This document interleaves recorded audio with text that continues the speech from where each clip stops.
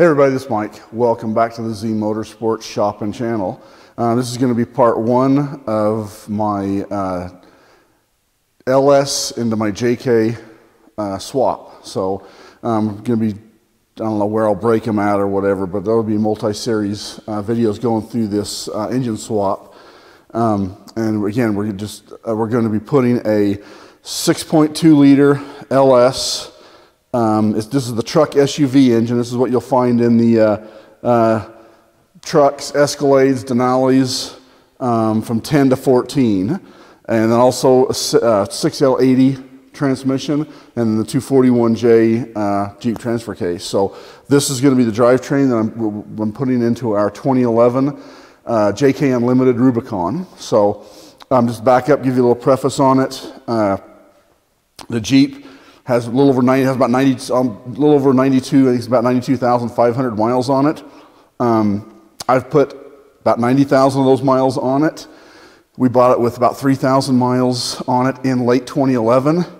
And I immediately went through and put a four and a half inch lift under it. Um, it started out as a BDS lift but I did not, after a couple years, I didn't like the bushings and so forth that was in the, having to keep replacing, warranting the bushings, so I built my own links for it. Um, the rear springs started sagging a little bit, so just to bring you up to this point, what we've done, what I've done right now in order to get ready to prepare for this swap is, I, like I said, I was running 538 gears in it before with 35 inch tires on that four and a half inch lift, and that's been in that, that way for the last geez, seven, well, seven years now and about 90,000 miles. So in order to prepare for this, I replaced my sagging, my rear spring. I got the rear end with tools and so forth loaded up pretty heavy in this, plus the bumpers and tire carrier and whatnot. So I don't have a lot of armor under it because I don't, I don't, I don't try, I don't like beating and relying on the armor. I've got the factory skids under it and then um, I try to stay up above them and not drag on the bottom as much as I can. I've got a few scrapes and scratches on my control arms, so forth, but in order to prepare for this build, um, I've replaced the sagging BDS springs with some Currie dual rate. They're the four and a half inch springs that are the Expedition um, springs, so they give a little, little more uh, lift in the rear, and that, that brought it up about three quarters of an inch in the rear that it was sagging, so it's, it's still, it's, I like the way it sits, but it's to bring some of that lift back that I was losing, that I'd lost. And then also I was running 538 gears about a week and a half or so, about two weeks ago, I guess. I had switched over and put 456s in my front end as well as did a drag link flip in order to accommodate the space for um, my hydraulic uh, assist steering. And then, um, and originally I've been, I've been running the PSC XD2 gearbox in this. When I first started looking at doing this swap about four years ago, um, the PSC XD gearbox was compatible with the LSs at that time. So I put, about a year or so ago, I put the gearbox in this, not knowing that there was an XD1 and an XD2 that were different sizes. So the PSC XD2 gearbox will actually make it, it actually will interfere with the AC compressor if you run the JK accessories on the engine. So I did not know that a year ago when I put the PSC gearbox on. Otherwise, I would have just gone right to the hydraulic steering. Um, once I determined that, oh, probably six months ago when I started collecting pieces for this build, I realize that. So if you're planning on doing this, just be aware of that. If you have an XD1, the first generation, it, I'm told, I haven't done it, done it, but I'm told it will work with the JK accessories on the LS, but the XD2 gearbox will not due to the, the just the basic, the, the, sheer mass of the, the size of the gearbox. So I've ported, or had my, my OEM box ported, and for the LS, for the V8, and then I'm running a redneck ram uh, hoses and, and, and ram and stuff, one and a half inch ram on the front. Because I, well, I figured with, with, with double the horsepower, double the torque, I'm going to step with 37s. So I've also, while I was doing that, I flipped the drag link to create the space I needed between the tie rod and the drag links. And then also while I had the front axle out, I cut off the factory uh, track bar bracket on my Pro Rock 44 and welded on the Artec Industries uh, raised track bar bracket, which is very beefy. And then I actually gusseted it a little bit more just because I, know I, was, I knew I was going to be putting the hydraulic steering on. So I did all that. And then I just did the rear end with 538s, put 456s in it about a week, about a week ago, I guess. Yeah, it was about a week ago. So I've got about 300 miles on these gears. Um, just wanted to make sure there was no issues, make sure everything was handling properly, made sure everything chassis wise and suspension wise was spot on before I dove into the engine builds or the engine part of it. So now that that's taken place, um, I just pulled it in, I got it all cleaned up and just pulled it in, and I am going to start draining fluids and disconnecting the electrical and so forth and getting ready to separate the body from the frame. Um, I don't have a ton of accessories on it. Um, I did have some rock lights that I, in three years, I used them once. So while I was doing gearing, I went through and pulled all, pulled all those out. I, I, that's just, I don't like wheeling at night. I don't know why I ever put them on there. It was kind of a waste of time and money. Um, the other thing that makes mine maybe a little different than some of the other ones was that I, I, I flat tow this behind our motorhome. So I've got the wire run down through my left frame rail and then it pops out back by the left tail light and ties in so that, and then up to my front under my bumper where I plug into my coach. So um, I'm just going to go ahead and pull the tail light and disconnect that. Um, that's really the only thing unique, I guess, I have on the back of this. And then other than that, it's just going to be all factory, um, factory connections and factory wiring, a few relays and so forth up on the firewall. Um, I'll probably just disconnect the load side leave the control side and everything there that's tied to the body um, and leave as much of that intact as possible. So, uh, anyway, um, back to the engine. Again, it's a, 20, it's, it, it's a 2010 through 14, 6.2 liter. This is the truck SUV. You can get the LS3, which is a little more horsepower, has about 25 more horsepower, but only about six or seven more foot pounds of torque. Um, I preferred the truck Denali Escalade SUV engine, namely because low end torque. It's a VVT engine, it's discrete VVT, it's not like the Gen 5 engines that are uh, CVVT, continuously variable valve timing. These are discrete, but the low end torque that these engines put out, I mean, off idle, right, right off idle, you have over 350 foot pounds of torque available right on tap. Um, they should move this heavy J or any heavy JK for that matter very easily.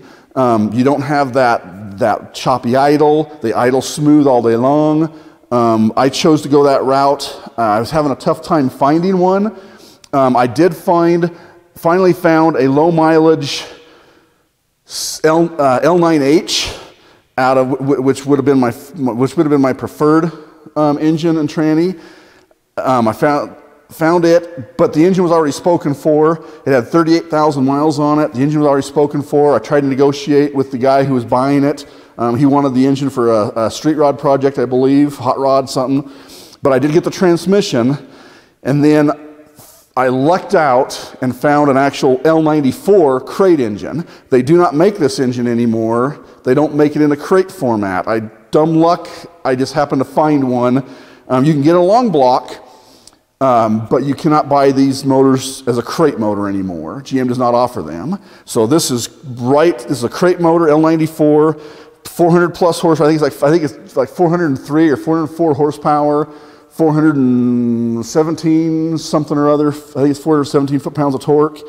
Um, the tune I'm going to be running in this is pretty much a stock tune, tweaked just a little bit to firm up the shifts and maybe bump it a few horse. I'm told maybe four four and a quarter horse, maybe 440, 435, 440 on the torque. So it's going to put it up there at least right, right with the LS3, but it's going to be lower RPM torque. I like the, the, the taller truck manifolds do make it a little more problematic getting them to fit under the hood. I'm not running any special hood. I'm not running any, I'm just running the factory JK hood.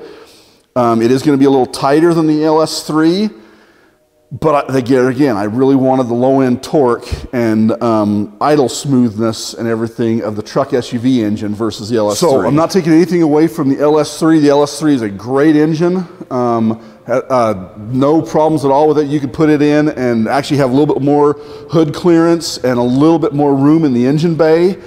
Um, but again, I wanted the, the uh, truck SUV engine mainly because of the low end torque and the idle smoothness. Um, not that the LS3 idle's rough, it's just this is what I would, this is what I really wanted um, versus the LS3. So the LS3 is a simpler engine. It doesn't have the VVT, it doesn't have um, AFM, which I'm gonna, I'm gonna uh, block the AFM out of this, the uh, air fuel uh, management system, just because in a heavy Jeep, I don't see it being beneficial at all, and I really don't want to deal with that going in and out of four cylinder mode.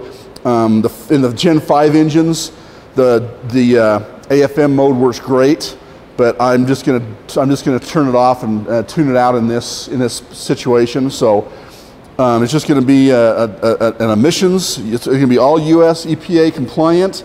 I've taken everything from the GM, excuse me, everything from the GM vehicle that's EPA certified is going to be brought over into the Jeep, right down to the, evaporate, the evap system. Um, the Jeep evap system is pretty primitive. Basically, it just uses pressure in the tank to control that um, uh, evap uh, management system. Uh, the, e, the e, evap system integrity monitor, the eSIM, um, whereas the GM is a closed monitoring system, so it has a, a purge valve and a vent valve all monitored through the piece through the ECM.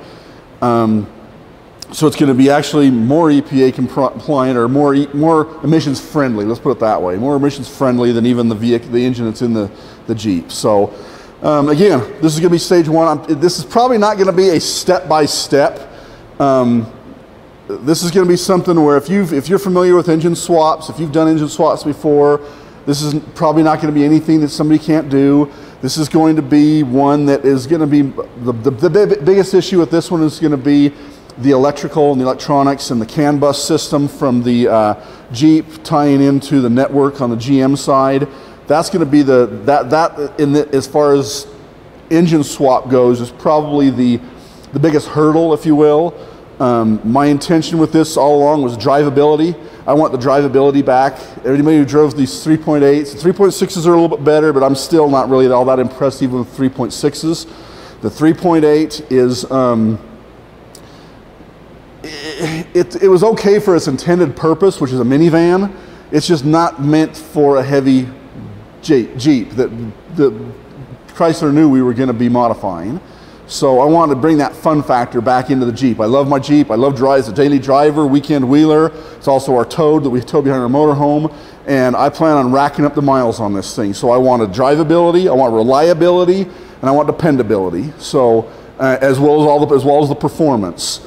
Um, performance was not number one, but it was all of them are close in there. So I want this thing to where if the wife wants to hop in it, she can stick her key in ignition, turn it, fire it up, and it's going to perform drive wise as she's going to swear she's just in a, in a in, in, I want all the bells and whistles. I want all the the uh, um, dash indicator lights, everything to function properly, but with better power and performance under the hood. So I think this I think the 6.2 liter is probably more than enough, and the 6L80 is is going to be a great combination for both on and off road.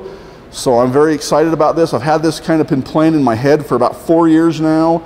I began, I began speaking to Robbie over at Motec, kind of picking his brain a little bit about mainly the integration of the, the ECM and TCM in, in the communication or that handshake, if you will, with the Jeep um, CAN bus system.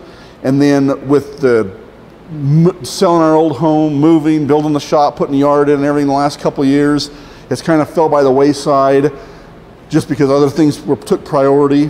And I'm finally to the point, I started in about June, July, started collecting pieces again, and finally um, collected all the pieces and parts, so I'm ready to lift the body off and perform this modification. So I'm very excited. I welcome you to come along with the, on the adventure, and I hope that I don't bore you to death. So Um, again, it's not going to be a step by step. It's just going to be some random videos of the of the build. Anything that I think that may be of importance, I might um, I'll throw out there. But if you're interested in doing this, there's a lot of research you want to do. I probably can't. I'll, I probably don't have the time to answer all your questions. Like I said, this has taken me several years of research and so forth. This is not something that all of a sudden one day decide to pull the trigger and have all the parts on your doorstep tomorrow. This takes some thought, it takes some dedication, and it takes some research. So I'm, I'm encouraging you to do that. Um, all I'm trying to do is provide a little extra information than what's out there because there's there's some out there, but there's not a ton. So, um, and like I say, there are quite a few of these Jeeps out there, but there's not a lot when you look at how many Jeeps are on the road. It's a very, very, very small percentage of Jeeps out there with with LS engines in them um, in comparison to how many, you know, hundreds of thousands of Jeeps are out there. So uh, it's going to be unique. My Jeep is very clean. I, I, have kept it that way. I wheel it. I, I, I, drive it like a, like a baby carriage off road. I don't flog on it. I don't hammer it, but I do wheel it. Um, uh, same thing on road. I do drive it, um, but I take care of it. So I plan on having this Jeep a long time. My goal is at least 15, another 15 years. I've had it seven now. I want to have it at least another 15, and I want it to be in pristine condition. I want it to perform. So, with that, um, we're going to go ahead and start. I'm going to start disconnecting things, get this body lifted off of here. Um, a couple things I'm going to point out as we go along. Um, the L94 hat, this ha has the truck SUV manifolds on it. I actually purchased the Trailblazer exhaust manifolds. They clear, they seem to clear the frame a little better and open up the gap underneath. So I'm going to be putting those on, and then I'm going to be running um, some, some of, uh, uh, a lot of the parts I bought through my local GM dealer. Some of them I bought off the donor, some of them I got with the donor vehicle. Um, other ones I sourced through my local Napa and um, a few parts, well, quite a few parts actually, I got through Robbie over at Motec. I didn't, I kind of piecemealed it. I do like his um, billet brackets because they're not only they look nice, but they're they're functional. He did a really nice job designing them, and they put all the JK accessories right back where JK, where, where Chrysler intended them to be. So um, another big thing with this is repairability. You get into a small little town, which my wife and I travel a lot. Um, we tow this down into Texas and Arizona, New Mexico, all these little towns. If I get in there and I find I blow a, uh, I need a belt or I need an AC line or something, I want, I want to be able to go get the parts I need and without having to custom build things. I've had custom built vehicles for the last 35 years now. I've been a mechanic for 30 plus years and I've done a lot of engine swaps and I've had all the custom built stuff and one-off pieces and parts, and that's all well and great for a street rod or something, but for a daily driver, something you're going to drive, you know, out of town and so forth, it really is not conducive when you start getting out of town and having parts, needing parts, and come to find out you need a, a mill or lathe to machine that one part um, that you need. So I'm trying, my, my goal with this was to keep it as OE level as possible so that I can go to a Napa or a GM dealer or wherever and get the parts I need um, if I break down out of town. So no different than if I was driving a Denali um, uh, SUV. Um, so let's uh, go ahead and get this sucker up to par, All right, so we? I'm about two hours into it here now, so I'm just going to briefly run over what I've done up to this point. So starting at the passenger side, of the engine bay. You can actually see I removed the battery. Um, I've got a lot of wiring that I've added over the years for accessory lighting and so forth, some of which I've removed. So I'm going to condense that wiring probably into one convoluted um, tubing that runs right across with um, the factory um, OEM loom right there. Uh, and, and, like I said, I've, there's probably three or four of those wires are going to be eliminated. So there's probably only going to be, two, maybe three um, wires remaining there in addition to the factory loom. So all that's going to be going away. I'm just going to combine everything. stuff I've added in different phases, and uh, I'm just going to combine them all into one tubing. I'm coming around back around this way, here's your TIPM. Airbox obviously is removed. I've got the power steering pump disconnected from the bracket and just leaned over here. This is another reason why I wanted to have my hydraulic assist steering done prior to this transplant because there should really should be no reason why you even have to open this power steering system up. So that's another reason why I wanted to get all that done. So it took me a little few tries pulling the pump apart and playing with the pressures on that, but I finally got my hydraulic assist where I'm happy with it. Um, let's see, all my hoses are removed.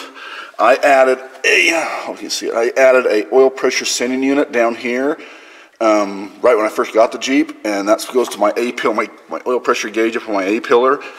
I will, once I get the engine or the body off, I'll probably remove that and reuse that on the new LS because I want to keep my A-pillar gauges. I have a voltmeter, transmission temperature, sending unit, and oil pressure gauge up my A-pillar. So I want to keep those analog gauges. Um, everything else I'll be able to monitor through my um, Aeroforce gauge that I'm going to install. Um, once I get up in the air, you can see my transmission lines down there. I'll have to disconnect those transmission lines. I've actually tapped into them for my auxiliary cooler. So the auxiliary cooler is going to stay. I've got a pretty good size one on this. It's an 11 inch by 11 inch by one and a half inch thick stacked plate design. So that will stay. Um, let's see, all my, obviously my coolant reservoir bottle's gone, I got my belt off, all my hoses, everything are disconnected and just kind of leaned out of the way over here, heater hoses. Um, all the wiring from the um, Jeep PCM connectors, uh, starting at the fender, it goes one, two, three, four. You'll actually leave number three. That's tied into the, that stays with the body. But one, two, and four are removed all the way back to the C100 harness. Um, disconnect that, and all that wiring goes laid over onto the motor. I just got a bungee cord right now holding it onto the top of the motor so nothing snags when I'm trying to lift the body. Um, speaking of connectors, um, for orientation purposes, here's your fan. Right down here, you can see the C300 connector. That connects over to a plug, kind of hard to see, right down underneath the air box here. So that is your basically your chassis to body connector. So that will be disconnected. There you go, you can kind of see it right there. That will be connected, disconnected, and just left. Uh, the body side will stay with the body, and the frame side will stay with the frame. Um, coming around this other side, uh, let's see. The, um, like I say, all the, the C1, 2, and 4 are disconnected all the way back through here to the booster, up and over to the booster, to the C100 connectors here, and laid over on the engine. Um, there's a bolt right here that goes through this uh, composite body or uh, uh, bracket here and holds into the ABS module on the side. You'll want to pull that bolt, that's a shoulder bolt, pull that out, and you'll see two grommets right there. It takes a little bit of work, but you, you'll basically just walk the uh, module up and then disconnect your master cylinder from your booster. Now, when you do that, there's an O-ring, shows the video right there. Sometimes it sticks to the booster itself. Make sure you grab that O-ring, because otherwise, when you go to assemble it, I've seen people actually accidentally push those inside and they go inside your booster. So um, pull that out with your module and master cylinder, and then you should be able to just move the, the, the ABS stuff will just kind of push off to the side. Um, once I get ready to lift the body, I'll probably bungee those over a little bit to hold them out of the way of this bracket here. Um, then your vacuum line, um, leave your check valve in because you will be reusing that um, with the new with the LS. And then over here you've got your um, pressure sensor for your AC system. You also, right there is your compressor, uh, connector for your compressor. And then up on top here, your alternator, there's a plug right there. You'll disconnect all that. That all goes with this harness and goes over onto the engine. So those will be um, back on once the, um, the LS goes in. You'll put those back over on the LS. Uh, speaking of battery cables, I've undone the battery cables from the battery. There's a right behind the battery box on the firewall there's a ground and then also a ground strap that goes from there down to the engine. Disconnect that, and basically you'll just fold the battery wire, the cables, the, the, the load cables right over onto the engine. Here's your battery cables. Those will more than likely be reused if they're in good shape, which mine are. So just take and put those right over onto the motor for the time being. So that's pretty much it in the engine bay. Oh, and I also, you can kind of see some liquid down in there. I've, while I was uh, doing some of this other stuff up top side, I went ahead and dumped the cooling system. So I just got that, let, letting that drip out. Um, I'm going to go do a couple things on the back of the Jeep now. I've got my CB antenna and um, my tow package uh, lighting for my tail lights for when we tow it behind the coach. I'm going to go back and do those right now while the cooling system's finishing draining. And then at that point, I should be able to get it lifted up in the air, drain the rest of my fluids, and start doing body bolts. So this is about where two hours. If you're a little faster, maybe a little sooner, but this I'm into it right now about two hours and this is where we're All at. right, so we're about four and a half hours in, um, and the body's ready to come off. So let me just kind of take you around real quick and show you what needs to be disconnected in order to separate the frame, uh, the body from the frame. And then remember, these are Jeeps. Every Jeep is different, so everybody adds things on a little differently.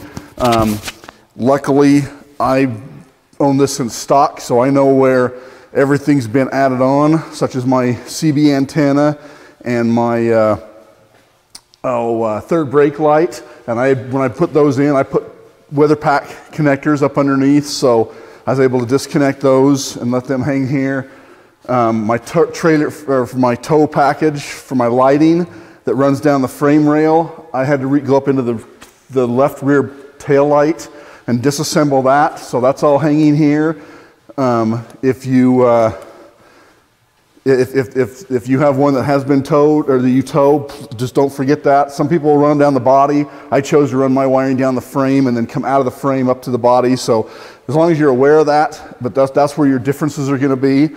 Other than that, um, I'll grab the camera here and go handheld real quick and just kind of run you around and show you the main things you need to um, disconnect, and then anything above and beyond that from accessories, you're kind of on your own. Okay, so again, here's these are these are accessories here, but you're going to have a um, body mount bolt, right rear back here, right at the uh, very rear corner. Now up until 09 or 10, I'm not sure which, they put another one right up here, just in just forward of the shock mount, the rear shock mount. Um, this one does not have it. This is an 11, so it does not have that. So you're gonna have two back here at the rear. Um, one other thing, here's your here's my axle vent line. Mine's actually clipped to the frame, but keep in mind if yours actually attaches to the body, um, remove that. Then over here is your fuel fill and evap lines. There should be a small, about a 3 8 inch vacuum or evap line. Your main fill there's the 3 eighths, there's the fill, and then your um, line that goes down to your evaporator, your eSIM, your evaporator system integrity monitor is going to be this one right here, and it's about a 5 eighths one. Disconnect those. And that really should be it about back here. But like I said, if you have it set up for trailer towing or anything like that, just make sure that you disconnect all those lines. Moving forward, emergency brake cables, those are quick and simple. Just pull them out and disconnect them from the lever and let them hang here. Okay, moving forward more, on the outside of the frame rails, you've got uh, one, two, and three body mounts through the middle, middle of the Jeep. I went ahead and pulled my drive shafts before. You can do that after, however you want to do it. Um, I drained all my fluids as well. I drained transfer case, transmission, and engine oil. Um, transmission shift linkage, disconnect, those stay, uh, and the transfer case. That's supposed both will stay with the body. Um, I've got an advanced adapters cable in mine, that's why it probably looks a little different. Um, let's see, here's a wire that I had added for a transmission temperature gauge, I made sure and disconnected that. You will want to reach up underneath here and undo the driver's side upstream O2 sensor um, so that uh, stays, stays there. And here's the ground wire that come loose from up by the battery box. I pulled it down. Again, remove my front drive shaft as well. transmission cooler lines because my cooler was, will be staying with the body. I've got a aftermarket stacked plate transmission cooler. It's going to be staying with the body going up. Um, move around here more to the front. There's my power steering cooler. Uh, it'll stay with the frame right outside the frame. Right there is your front um, frame mount, body mount, sorry. Um, also look at the position in those. Mine, both sides are pretty much dead center in the hole. So that's what I'll shoot for when I'm going back together. Here's the other side. Right there.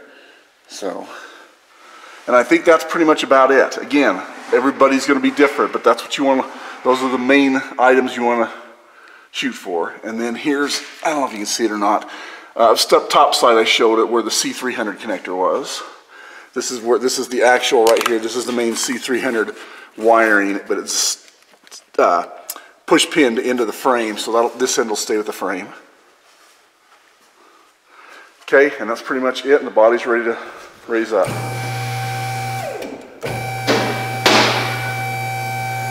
Should just be the suspension relaxing.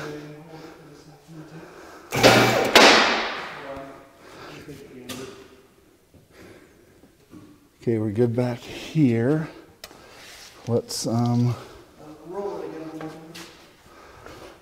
we want to watch for is any wires that I may have overlooked. I don't think we're connected any by my fasteners, but fuel fillers disconnected. We're good there. Oh, I know one thing we need to do. I'll have to have you grab the step stool. Okay, watch for.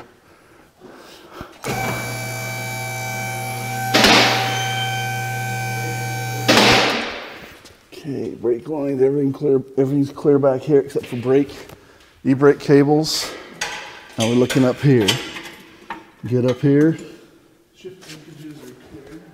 You know what? Something's still connected here. Oh no, that's just that's the shift linkage, isn't it? So it's just hanging there. Okay. Um, everything's clear. Everything's clear here. So.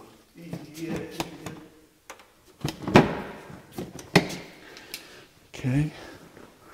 Ready? Let's continue on up. Keep an eye on things.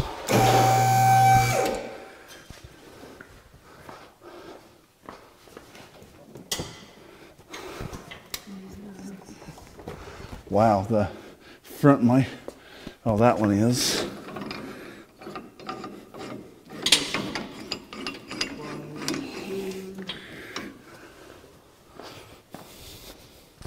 Got a lot of weight back here behind the, yeah, a lot of weight back here behind the axle on my, where my toolbox is at.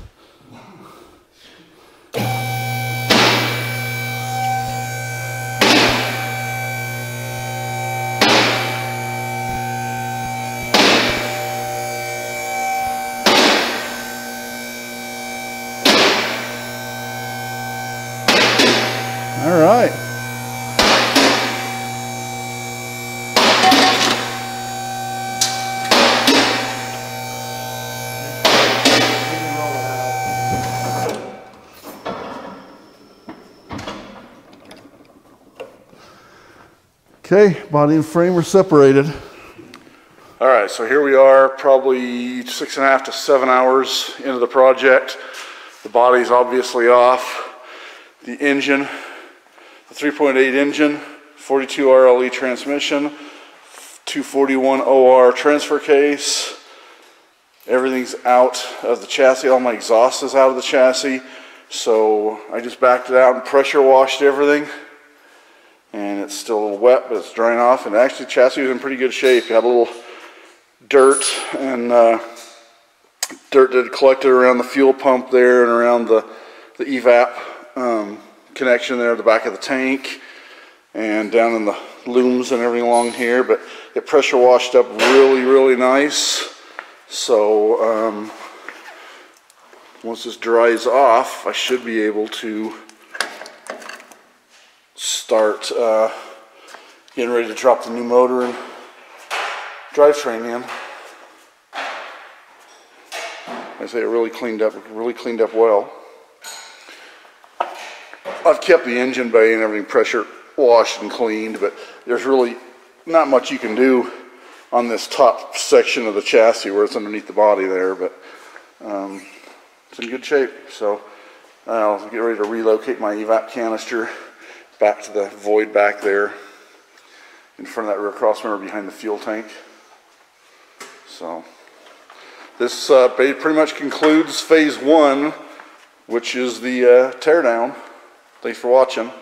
If you like what you see, give me a thumbs up and I welcome the comments. Thank you very much.